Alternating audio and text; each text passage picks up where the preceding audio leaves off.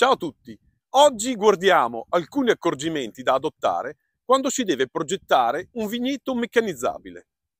La larghezza delle capezzaglie deve essere di almeno 6,5-7 metri per garantire l'agevole svolta delle attrezzature e consentire l'operazione di scarico delle vendemmiatrici. L'altezza dei filari non deve superare i 2,30 m, 2,40 m per essere compatibile con le vendemmiatrici diffuse nel nostro paese. La distanza tra i filari, generalmente compresa tra i 2 e i 3 metri, deve tenere in considerazione il passo dei trattori e la larghezza delle attrezzature. In collina deve tenere in considerazione anche eventuali contropendenze che potrebbero dare origine a slittamenti.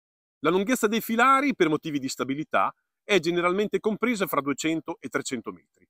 In ogni caso deve essere correlata anche con la produttività dell'impianto per evitare di avere i tank delle vendemmiatrici pieni a metà del percorso.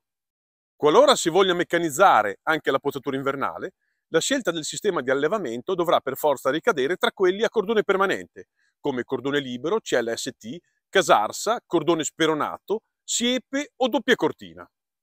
Nell'impostare la distanza tra le piante sulla fila, si deve considerare che al di sotto dei 70 cm diventa più complicato e lento l'impiego delle attrezzature interceppo. Lo stesso discorso vale anche per la distanza tra le piante e i pali. I filari devono essere orientati a gruppi di 3-5 nei due versi opposti per dar modo alle attrezzature di operare rispettando il senso di sviluppo dei germogli. I tutori devono essere robusti per dare solidità all'impianto e per reggere gli urti dei tastatori e degli scuotitori delle vendemmiatrici. Il tutore deve sporgere il minimo indispensabile dal filo portante per non costituire un ostacolo al momento dell'esecuzione della potatura meccanica. Un robusto ancoraggio e la presenza di tirafili sono indispensabili per mantenere l'impianto in tensione. Viti perfettamente allineate e tronchi verticali sono molto importanti per facilitare l'azione delle macchine ed evitare rotture.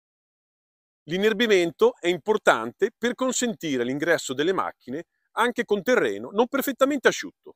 Una superficie del terreno perfettamente piana è importante per consentire alle macchine di operare con velocità e precisione. L'altezza del filo portante deve essere compatibile con la lunghezza dei capi a frutto che vengono lasciati con la potatura meccanica, per evitare che i grappoli si trovino troppo vicino al terreno. Ovviamente dovremo scegliere dei pali che oltre a garantire la stabilità dell'impianto siano resistenti agli urti e all'usura. Nel caso del cordone libero e del CLST, cordone libero speronatura totale, il filo deve essere montato sulla testa del palo in appoggio per evitare di avere ostacoli durante l'esecuzione della potatura meccanica. Se pensi che il video ti sia stato utile, lasciami un like ed iscriviti al canale se non l'hai già fatto. Ciao a tutti, alla prossima!